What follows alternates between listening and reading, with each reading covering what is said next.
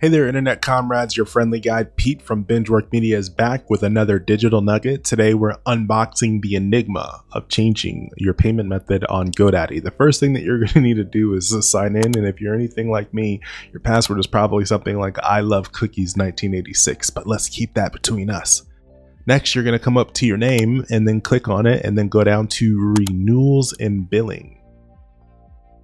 So you should be able to see kind of all of your products here. You can actually click on the individual product and update the payment method. But if you want to overall just change the entire payment method on your account, you can just basically click here and then you can add your payment method. All right. So once you fill out your card number, your expiration date, and security code, all you're going to do is press save. And then what you might want to do is come in here and delete that old one that's not really useful anymore. All right. That's it. Thanks for this. And I will see you on the next adventure.